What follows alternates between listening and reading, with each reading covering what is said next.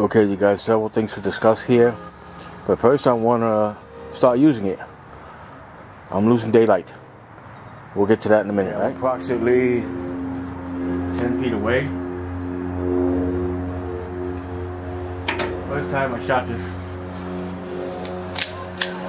Oh, I had the safety on, so I broke the uh, the cartridge, but I didn't shoot it. I should have took the safety off.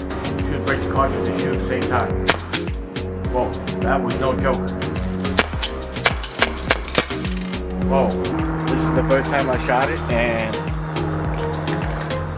I think what I'm hearing is I'm hearing the uh, balls hitting the uh, plastic shed behind the cushion, and that cushion is pretty thick.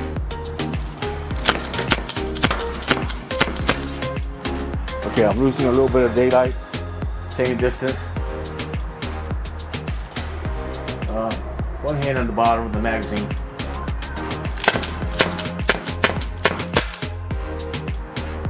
I think that was a little bit better. See, has some kick to it. We're gonna test that theory. I'm gonna get a little farther away. I'm about 12 feet away.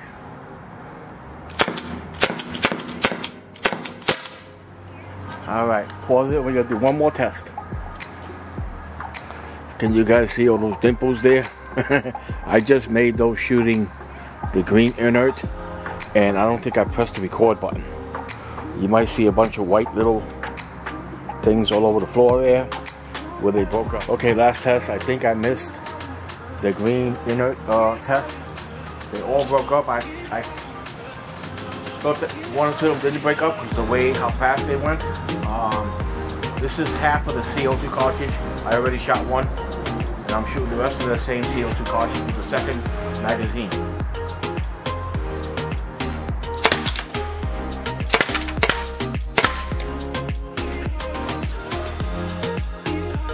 That last one was actually a pepper ball.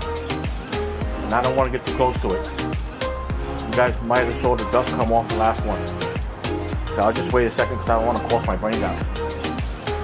Or start sneezing anything. Now you're gonna see more dimples there.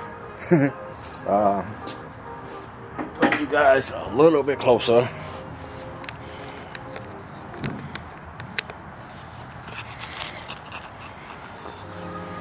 It's very accurate, short distance. I forget. oh shit. Okay, it's still hanging out in, in, in the atmosphere, even though it went away pretty fast. I gotta back off now. Okay, now that we got that over, let's get to the discussion. That amazing that it's still hanging out, even though it blew away right away. It's still in the atmosphere and it's very diluted. I'm gonna say probably maybe only 10% or 5% hanging out there. I wouldn't want to get hit by these guys. Okay, you guys, you saw our initial test. I sound funny because I had some dental work done. I, my bones haven't healed around the post, so I apologize if I sound a little bit weird. That was the first time I shot it, which you guys saw there. These are some of the rounds I shot several times, and I have to basically roll them on a, let's see if they roll funny a bit. These are spent cartridges.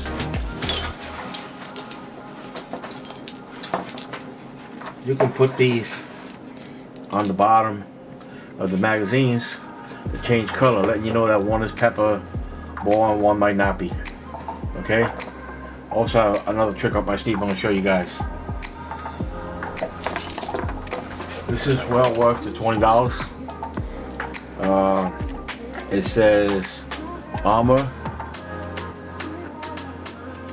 ammo armor, excuse me. I've seen on eBay for 40 something dollars, $40 and go to the site, they're much uh, less okay? Okay, goes like that. This kind of tricked me out here. I had to paint it black. There's an orange uh, on the bottom here where you load the, the balls and the pepper balls. They got different names, kinetic projectile, pepper projectile, and this one is Eco Kinetic. I got one that I believe is a test. Has like talcum powder or something in it. Let's see if I can show you on the other cartridge. That, that looks incorrect. That's correct. This part here actually is metal. Where you take off the top part where the cartridge goes in front of the I wonder if there's any cartridge spent cartridge in here. Yep, I can feel the pressure. Gonna hit release in a second. Okay, so you're gonna feel some pressure when you release it after using the cartridge. I'm gonna say in such close range, 15 feet, one little 8 ounce cartridge, you could easily go to speed magazines and you're good to go. You're not gonna have much problems. When you start shooting further, per se 25 feet so, where you might only get to two cartridges before it starts lobbing the balls so they, they don't go travel straight. Okay? See if I can show you that there. Can you see the bottom there? It's actually orange. I don't have this fully loaded. Let's take these out one at a time. If you're not careful, they'll shoot out on you and you won't be happy. See the bottom there is orange, so it kind of threw me for a loop. I'm thinking, now wait a second. that, do I have six shots in here? You only got five. You cannot load this, load one in here, and load another five won't work. Okay?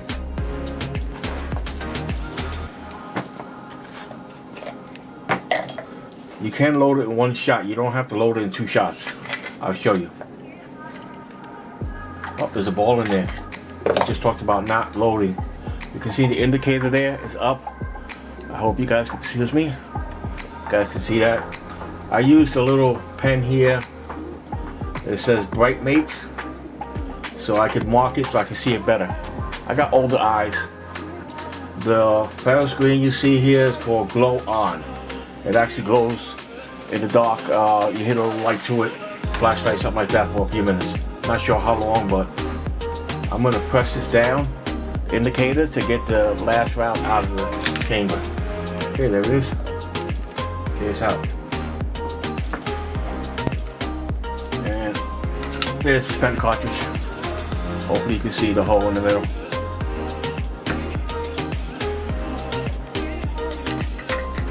Now, what I don't see people do is setting up the way they want it. Like normally you use sidearms, these so-called iron sights, even though they're plastic, it's just a general description.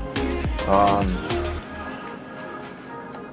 people will put glow on there, like on a car, but some of them you can't change. Okay, uh, and changing this to different color, the indicator is nice. I'm definitely going to put a laser on here later on because I'm an older guy of 60, small, don't see very great. Uh, close up, excuse me, so it's harder for me to see the sights. I like the way it feels, and if you guys see me shooting it, I didn't have a lot of trouble getting used to the trigger for the first time. It, it, I figured out why it wasn't difficult to for the trigger to go back all the way. There's plenty of tension on the way back. It brings your finger back. Very clever design so far. Uh, last thing is, if you saw the last board broke, and so did the uh, practice rounds, the Eco Kinetic uh, projectiles. If the person you're trying to defend yourself from is indoors and there's a wall there, he's close to it, you can hit the wall with this with this uh, pepper ball round, and you can uh, let the uh, material out and it'll most likely get them. It will definitely slow them down. It's pretty cool because they send a long throw back. And if you don't slow it back far enough, the next round will not hit, enter the chamber. Something to note of, okay? Besides this here, I love that it's black here so that any light, reflective light, doesn't hit it and reflect into your eyesight, whether it be day or night, you know, using in your vehicle protection, something like that. It definitely has enough kick to it, I can tell you that. I felt not kick like a gun. Um, kick like if that ball hits you in your skin and you got a t-shirt or something, you're gonna feel it. Okay, and I'm talking about from 20 feet, you're gonna feel it. Two of them hit you, you're gonna wanna hit the guy who's who's uh, shooting you with this launcher. It's not called a sidearm. Some people might call it a weapon. They say, I believe they say this one's to sell a extender here so you can use 12 gram cartridges instead of 8 gram cartridges. And I think it's worth it if you take it in your truck outside, stuff like that. If for indoors, it's not necessary. This is primarily for indoors for me, or close quarters, uh, nothing else. I don't intend to use it much. I think it's totally worth it. There probably was some instructions here. They weren't that hard to figure out. You guys got any questions for me? There's going to be around two where I set it up a little bit better. Probably have a third magazine and have a little more target practice and test it on different items, okay? Hope you guys enjoyed the video. I'll see you guys in the next one. Bye.